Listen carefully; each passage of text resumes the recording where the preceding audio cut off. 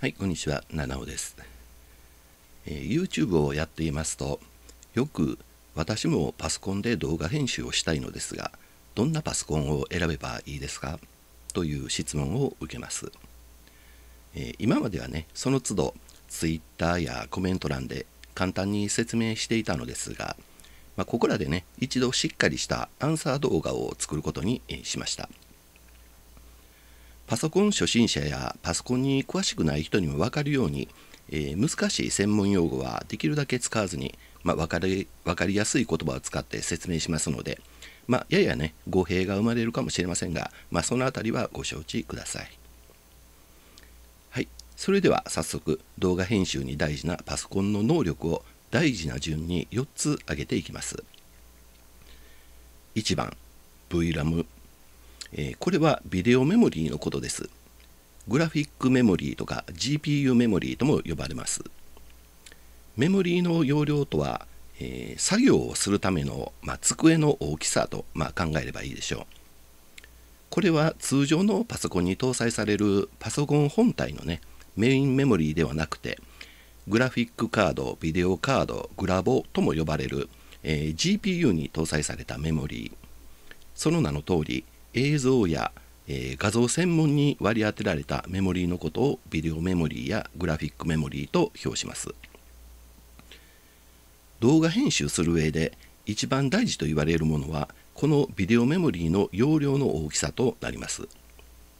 えーゲーミング PC やビデオカード、えーこのビデオカードはグラボとかグラフィックカードとも呼ばれます。に、えー GPU の欄に記載されたメモリーの容量がこれにあたり、4K 動画や360度動画のリフレーム編集するには、ビデオメモリー、GPU メモリーは 8, 8ギガぐらい、え搭載されたものが良いとされています。写真は、え PC ショップドツパラさんのカタログを参照させていただいています。え CPU、えメインメモリー、えー GPU、ビデオメモリーと記載されています。これがビジネスモデルとか買いモデルの PC であれば、えーカタログに GPU の記載がなく、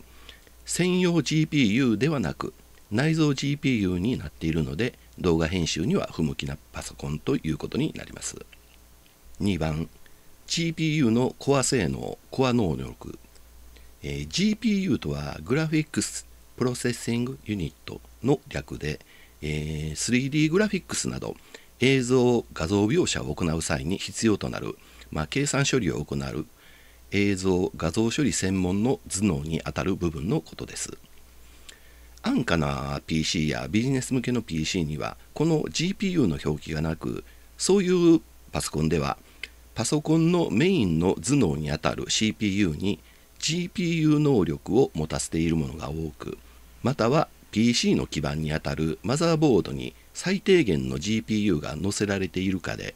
まあ、そういった PC での映像画像の処理能力は非常に低いため動画編集には向かない PC となります。逆にゲーミング PC には、えー必ず GPU 表記がありその GPU の能力がゲームの描写能力を表すことになっているのです。これが動画編集にはゲーミング PC が良いと言われる理由となっています。そして当然この GPU も古い新しいの世代がありまた廉価版モデルから上位モデルまで能力に違いがありその GPU のコアによりグラフィックス能力の性能差が生まれてきますので、まあ、高価にはなりますが上位モデルほど描写性能、まあ、編集能力は高いと言えるのです。3番 CPU の性能。CPU は Central Processing Unit の略で、えーパソコンの頭脳になりますよく一般の方が勘違いされるのですが、す、べ、てこの CPU 性能が高ければ動画編集にも適していると言われる方が多いのですが、まあ、それはね、正しくもあり、誤りでもあります。先の GPU の説明でもしたのですが、PC に高性能な GPU を搭載すると、3D グラフィックス、映像、画像処理は GPU に、その他の演算処理は CPU で、と負荷のかかる処理を分担するのでやはり動画編集においては CPU よりも GPU の方が重要視されます。ざっくり簡単に説明すると動画の編集作業では GPU が処理を行いその編集した動画を書き出すのは CPU の方が多く役割を担うという感じになります。4番メインメモリー、え、パソコン本体のメモリー容量の大きさ。メインメモリーとは、え、PC の説明で記載されている PC 本体に搭載されているメモリーのことで、え、メモリー容量は、まあ、先ほども言ったんですが作業スペースの大きさと考えればいいと思います。2023年現在の一般的な PC でのメインメモリー搭載容量は、まあ、8ギガとか16ギガが多く、えー、動画編集をするには最低16ギガ、まあ、予算が許すのであれば32ギガに増設されるのが良いと思います仕事仲間がちょっと奮発してね64ギガに増設した PC を使っているんですがえー、32ギガと違いはわからないと言っていますので、まあ、32ギガ以上はま必要ないようです。それではまとめてみますと、動画編集に大事な順番は、ビデオメモリーの容量、えー、PC にビデオカード、グラボーですね、が搭載された PC を選ぶ。GPU のメモリーは4ギガ以上で、4K 動画や360度動画を編集したいなら8ギガ以上を選ぶのが良い。